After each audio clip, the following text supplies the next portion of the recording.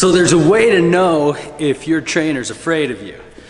If your trainer's a coward, if your trainer's a chicken, the way you know is that they're not asking you to do weird things that make you feel a little out of place in the gym.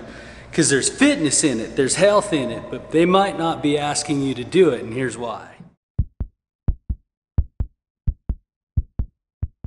The biggest mistake that your trainer is likely to make is he or she will forget to work your nervous system. At GPP, we work your nervous system. We go directly at it. At least once a week, I'm gonna put you in a position that, like that, where you feel kind of strange, right? A little discombobulated. How do I know I'm working my nervous system, Neil. Well, it feels funny. It feels strange. Once you're in the middle of it, you feel like you're not in command of it.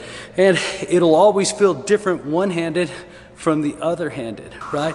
So when I'm asking you to do double unders, nervous system. When I'm asking for your over under squat, nervous system. When I'm telling you to step down, lengthening the quadricep while I'm contracting the shoulder, right?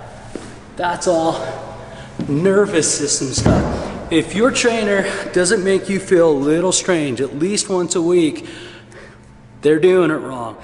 Remember, nervous system is part of this gig, and for you to be optimally healthy, we should go straight at your nervous system in very deliberate ways. Otherwise, you're just training the energy system, and that's fine, but it's not enough. So if you like videos like this and they help you, oh, that's my first one. Please subscribe to our YouTube channel or pass it on, share it. It would help us a ton. I can't believe I did two in a row. It would help us a ton. That was two in a row.